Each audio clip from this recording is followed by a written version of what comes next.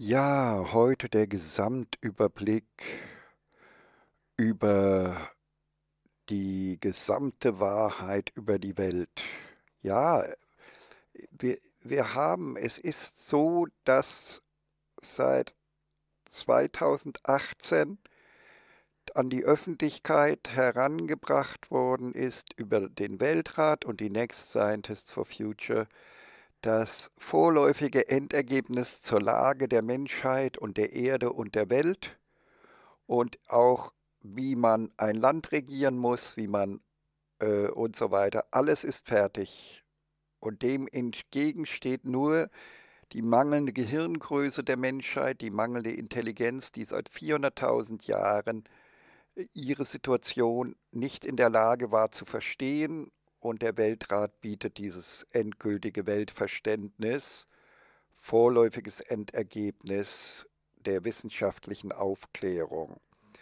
Deswegen Tipps und Empfehlungen, also genau genommen ist ja jede unserer Sendungen ein offener Brief an Bhakti, Schiffmann, Sieber, Füllmich, Bundeskanzlerin Dr. Angela Merkel, Köhnlein, Reuter, Rosen, Viviane Fischer, Schwab, Martin Schwab, und all die anderen, äh, aus, die sich mit äh, gerade aktiv sind und sich auch mit der Frage von Parteien teilweise großenteils beschäftigen.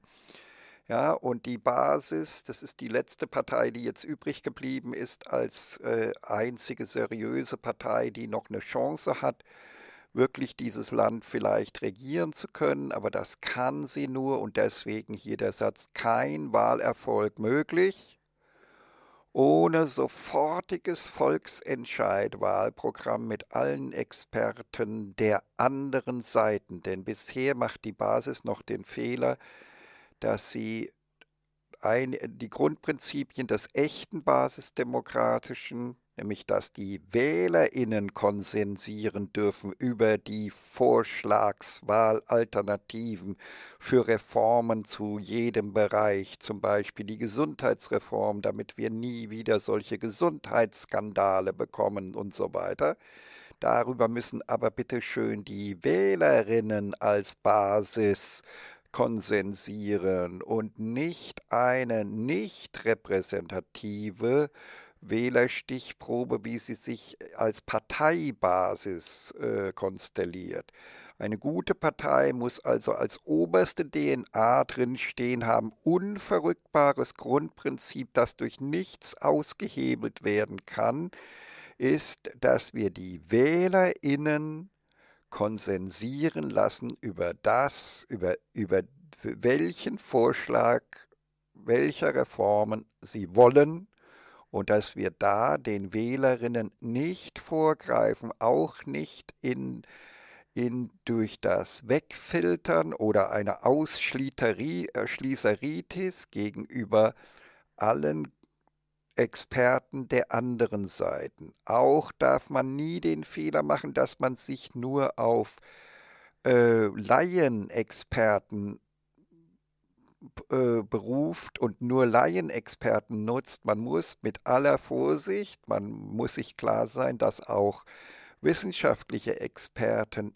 immer angefüllt sein können mit riesigen Mengen an vorteilbringenden Irrtümern, Killerviren des Geistes, parasitären Memen und deswegen höchst manipulativ und gefährlich sein können.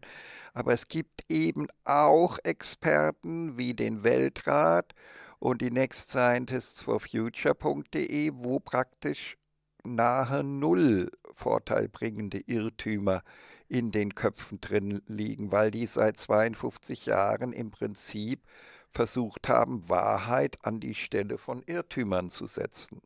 Und grundsätzlich gilt hier an dem rundlichen Ding hier unten immer mindestens 1,5 Wiedergabegeschwindigkeit einstellen. Anders sollte man keine Sendung schauen.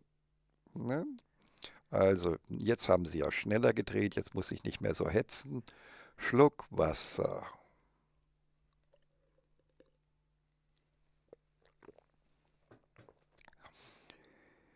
Also, und deswegen klar, dass wir aufrufen, nur die Basis zu wählen, weil die Fragpartei ja auch noch nicht so weit ist. Wir haben jetzt sogar empfohlen, Leuten von der FRAG-Partei Gerade habe ich eine Antwort bekommen, äh, in die Basis einzutreten, die dann dort werben sollen dafür, dass die Basis bitteschön wirklich basisdemokratisch werden möge, was sie leider noch nicht ist, aber ja immerhin als Ideal benennt. Und um das noch einmal ganz klar zu sagen, und wir machen heute, wir stellen dar, also wir sind ja überzeugt, dass die besten Experten für jede Partei Weltrat und Next Scientists for Future sind, aber natürlich ist das immer auch die Gefahr der Sache. Was ist, wenn wir uns doch wieder erwarten irren würden? Niemals darf sich eine Partei auf einseitige Experten, auf einen Experten fixieren, sondern sie muss immer alle Experten. Deswegen sozusagen schickt uns ruhig Gegner, die uns widersprechen. Wir werden dann aufdecken, wo diese Experten vorteilbringende Irrtümer irgendwelcher Sparten in ihren Köpfen tragen und irgendwie auf jeden Fall ihr Konzept ein Irrtumskonzept ist. Aber es braucht diese Gegner und es braucht diese Offenheit, auch wenn wir dann vielleicht hundertmal äh, aufweisen, wo die anderen Experten sich irren. Aber wir brauchen sie doch, denn es geht nicht ohne den Widerspruch und die Diskussion. Denn was ist, wenn wir dann irgendwann äh, als einseitige Experten, als einzige Experten dann wieder entgleisen würden in Richtung bestimmter Irrtümer oder vor, vorteilbringender Irrtümer?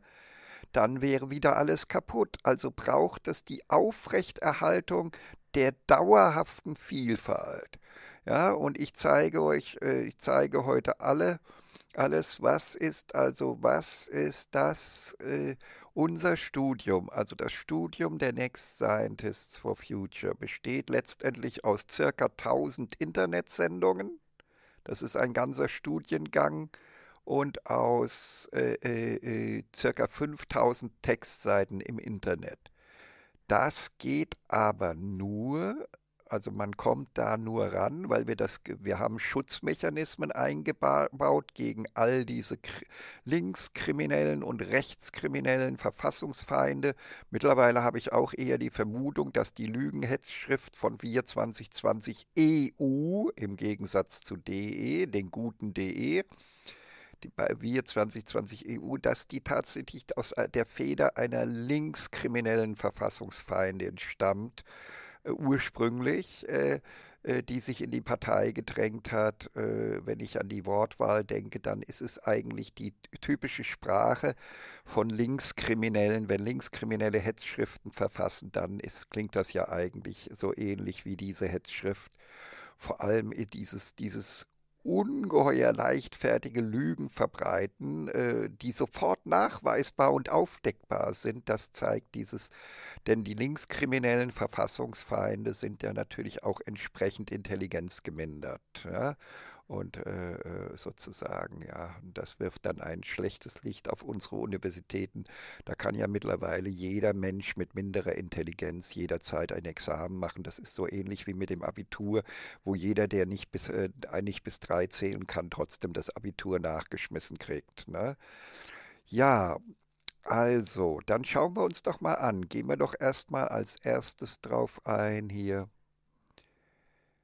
Äh, Erst einmal habe ich ja eben gesagt, hier nextscientistforfuture.de ist klar.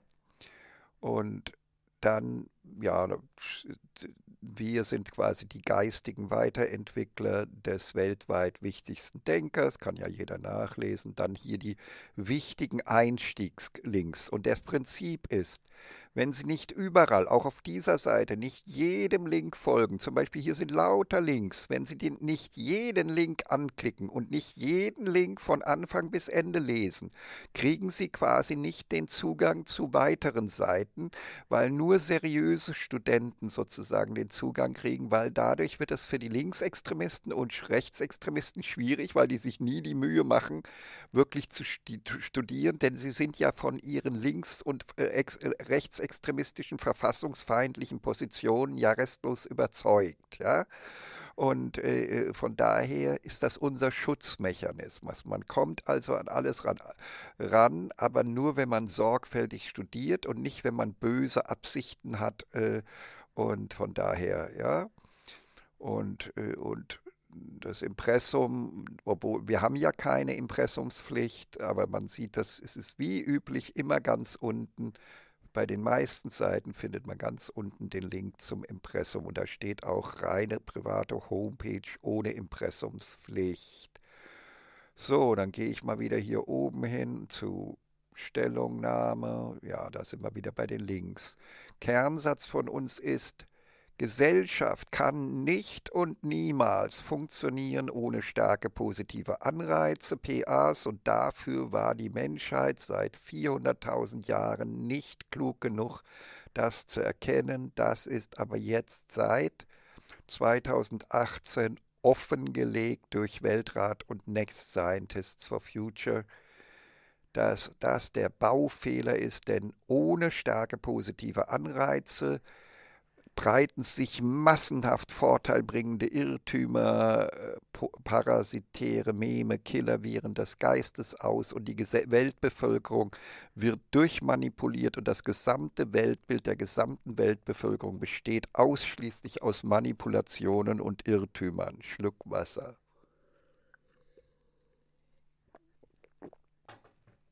Also Sie, lieber Zuhörer, wenn Sie vieles schon von uns gehört haben, sind Sie vielleicht schon ein bisschen entmanipuliert worden und haben schon viele vorteilbringende Irrtümer durchschaut, die in Ihrem Kopf waren. Aber wenn Sie relativ neu sind hier, dann seien Sie sich klar, Ihr Weltbild hat nichts mit Wahrheit zu tun. Sie sind ein, Ihr Kopf ist ein Sammelsurium von parasitären Memen, Killerviren des Geistes und vorteilbringenden Irrtümern verschiedenster Sparten, event ihrer eigenen Sparte, in der sie arbeiten, aber auch vieler anderer Sparten, die es auch geschafft haben, ihre vorteilbringenden Irrtümer in ihren Kopf hineinzudrücken, sozusagen. Also sie sind als Zuschauer normalerweise der normale Mensch ist ein Manipulationsopfer.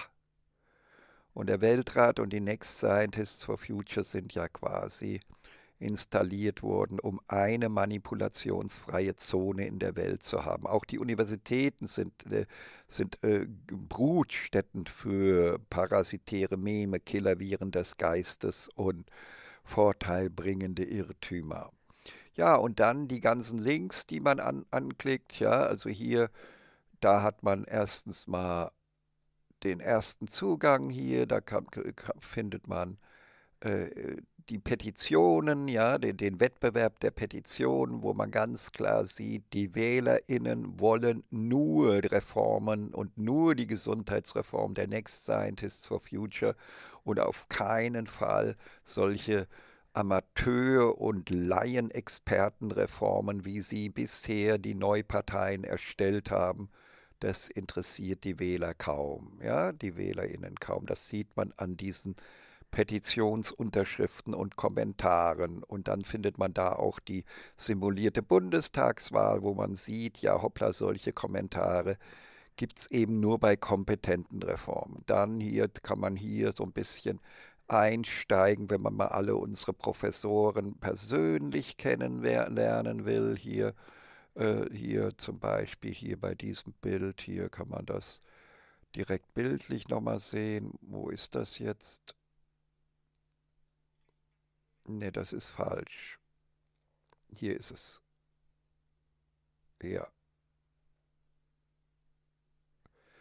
Zum Beispiel hier sieht man den Chefredakteur online des Trendmagazins, des österreichischen Managermagazins und hier sieht man mich äh, als Assistenten und einen unserer besten Professoren, Professor Mertens. Und so kann man dann in, in dieser Playlist schon mal anfangen, persönlich, äh, die, in persönlichen Gesprächen mit Journalisten unsere einige unserer Professoren, einige wenige unserer Professoren und zu kennen und Doktoren kennenzulernen und hier ein paar Gäste, Talks mit Gästen, weil es ist ja bei uns so, dass alleine auftreten dürfen ausschließlich ex, äh, ehrenamtliche Assistenten wie ich. Und die Professoren dürfen immer, immer nur, die Mindestzahl ist immer dann zwei, ein Professor, eine Professorin und ein ehrenamtliche Assistentin, ehrenamtlicher Assistent. Das ist die Mindestbesetzung. Eine andere Auftretensmöglichkeit ist nicht gestattet. Äh, weil die ehrenamtlichen Assistenten immer die Aufgabe haben, zum Beispiel jetzt zum Beispiel hier äh, unseres Mitgliedes Dr. Med Ludwig Manfred Jakob, wenn der jetzt also eine bestimmte Meinung hat, die vielleicht nicht von allen Professoren geteilt wird, dann ist meine Aufgabe dann das sofort äh, äh klarzustellen, aha, es gibt bei uns auch noch die und die Sichtweise der Sache. Ne? Und so ist das dann gut geregelt. Also nur ehrenamtliche Assistenten dürfen alleine auftreten für den Weltrat und den Weltrat und die Next Scientists for Future vertreten. Und ansonsten immer zu zweit. Ein Professor, ein ehrenamtlicher Assistent. So ist das praktisch gelöst.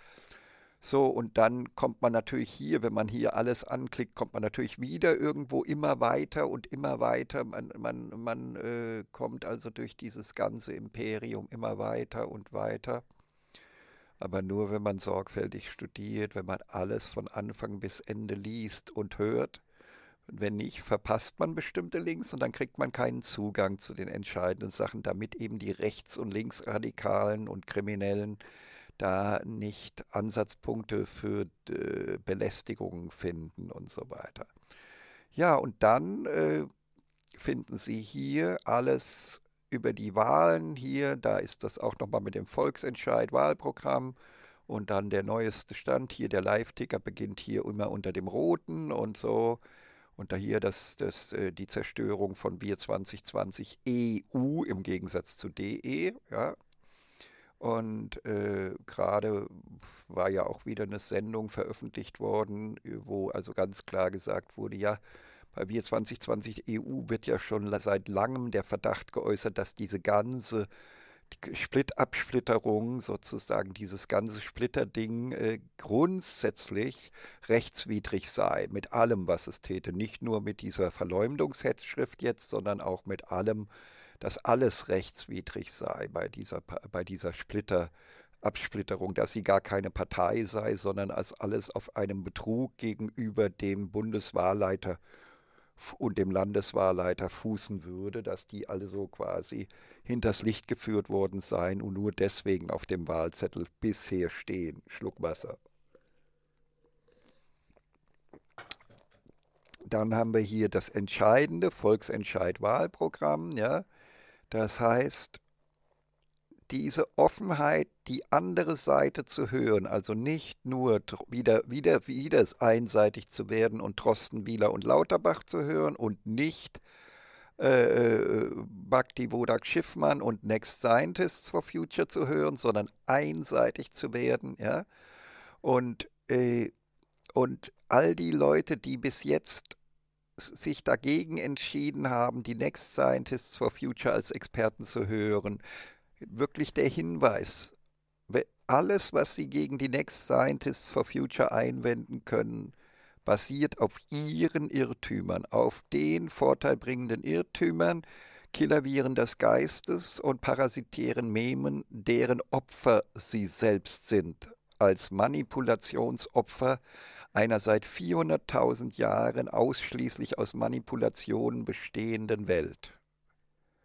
Und wir verdanken es der Aufklärung, wir verdanken es Kopernikus, Kepler, Galilei, Newton, äh, Wallace, Darwin, Mendel äh, und Next Scientists for Future vom Weltrat und eben zwischendrin noch Richard Dawkins, Professor Richard Dawkins, dass wir überhaupt die Wahrheit erkennen konnten. Ja, 2018 war dann endlich der Durchbruch zur Wahrheit endfertig und präsentationsfertig, obwohl die Ahnungen schon seit äh, ja, 10, 15, 20 Jahren ja schon da waren. Äh, aber äh, es muss, ist ja immer die Frage, ob wie weit bestätigt sich eine erste Ahnung und wird dann gefestigt sozusagen.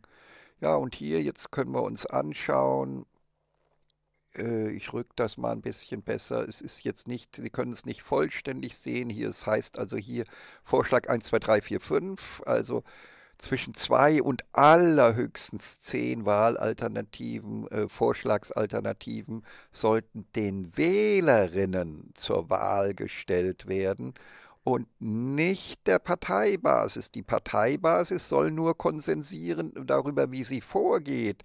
Äh, äh, aber im Prinzip sollte die Parteibasis alle Vorschläge sammeln von allen Experten und diese alle in Talkshows einladen und, und, und, und.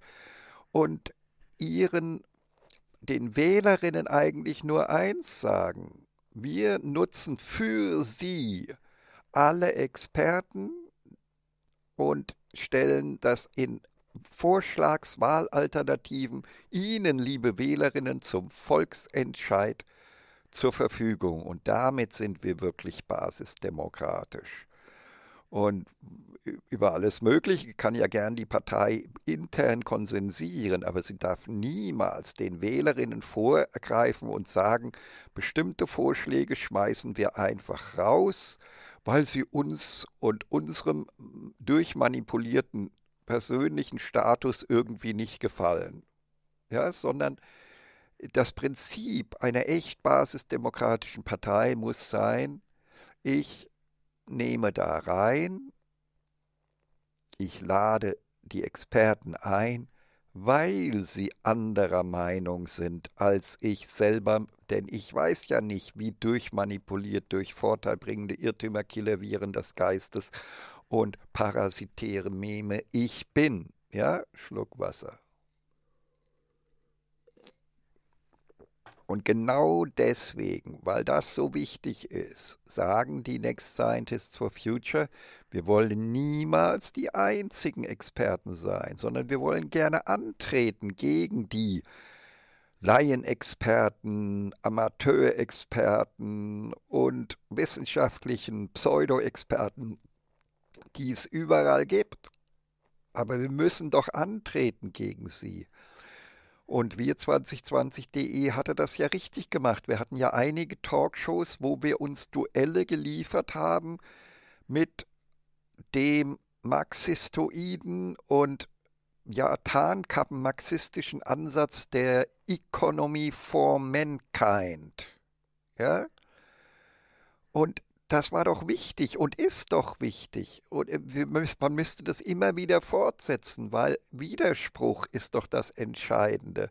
Und wir haben natürlich immer gesagt, okay, diese Economy for Mankind ist ein Programm, hat ein politisches, hat Wahl, äh, Reformvorschläge, die dieses Land vollständig, Deutschland vollständig wirtschaftlich ruinieren würden und in ein bettelarmes Land verwandeln würden wie jeder tarnkappenmarxistische Ansatz auch. Ja?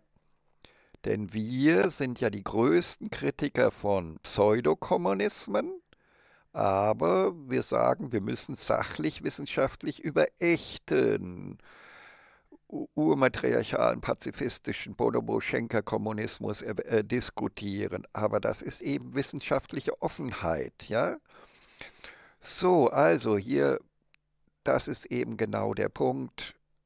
Denken nur noch in Volksentscheid, Wahlprogramm. Erst da beginnt Basisdemokratie. Alles andere ist keine Basisdemokratie, weil dann nämlich schon wieder irgendwelche Vorschläge ausgesondert wurden und die Vorschläge der Experten der anderen Seiten wieder ignoriert werden. Und damit wäre es dann wieder ein Irrweg ja, und keine Basisdemokratie.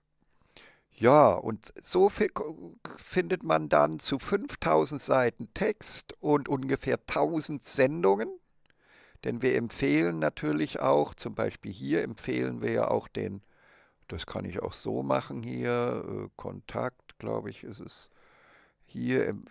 Wir empfehlen ja auch äh, English Text und End-Videos. Da über diesen Weg zum Beispiel, damit verrate ich das schon, findet man den Weg zu dem aus unserer Sicht besten Internet-Fernsehsender überhaupt, weil der jetzt wiederum.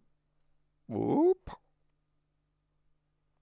Ach so, hier ist nochmal ein Zwischenlink, deswegen English Talks and Radios. Und dann kommt aber eben nur wer fleißig studiert und all das studiert, der erkennt ja jetzt, aha, da ist offensichtlich ein Sender, auf den kann man ja klicken. Und dann und gute Sender sind ja immer auch Playlist-Sender, weil es nicht für alle Sendungen das Recht äh, für einen Re-Upload gibt.